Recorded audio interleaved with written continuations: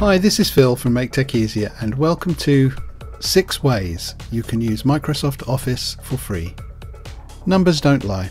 Microsoft Office has over 1.2 billion users worldwide, from 140 countries speaking 107 languages. Of these users, 400 million use Windows 10.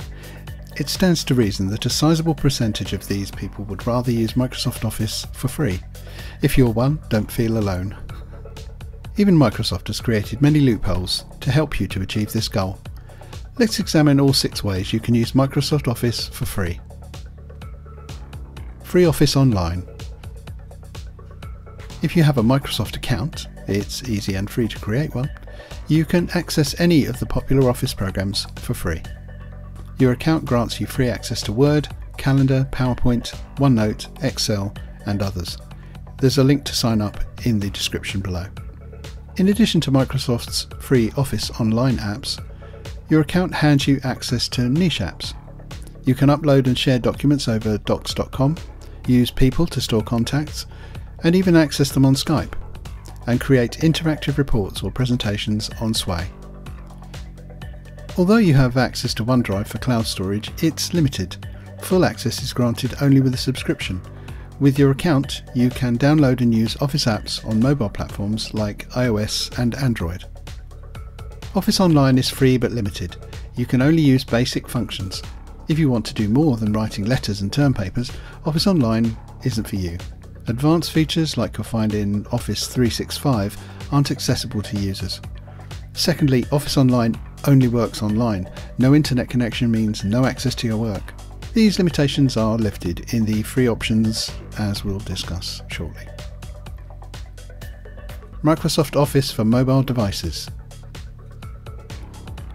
Office isn't pre-installed on desktop computers, however, certain mobile devices come bundled with Office applications for mobile.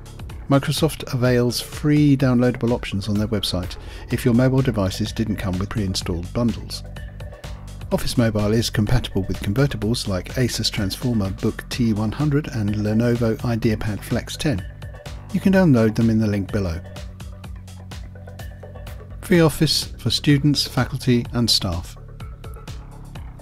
Microsoft offers Office 365 for free to qualifying students and employees of educational institutions.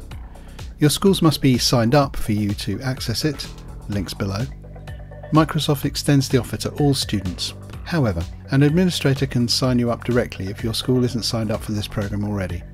The key differences with an Office 365 trial version are class management using Class Notebook, options for intranet customization, unlimited meetings online. 30 days free trial for Office 365. Office 365 is free for 30 days you can download it from the link below. Remember that it's the same product in case you see promotional offers like Try Office 365 Personal for free. The trial version can be used on five laptops or desktops simultaneously. Each user gets 1TB cloud storage on OneDrive as part of the trial. This option has two downsides. You only get 30 days free, making this option unfit for long-term use. And Microsoft collects your credit card information before you get access to download the software. Microsoft Evaluations for Office Apps. You can participate in Microsoft's evaluation program, link below in the description. The program lets you try out some Office apps within a defined period of time. These programs stop after the evaluation time elapses.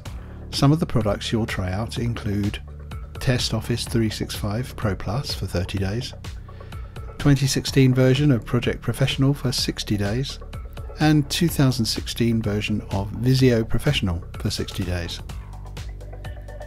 Preview Future Office and other Microsoft products. Microsoft runs public previews with their products. They're currently doing so with StaffHub, a new Office app that helps remote workers organise their work, and will likely do it with their next Office upgrade.